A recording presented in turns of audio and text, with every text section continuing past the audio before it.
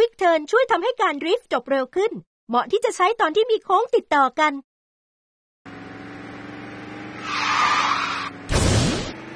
ต่อไปเรามาดูขั้นตอนการใช้ skill กันเถอะ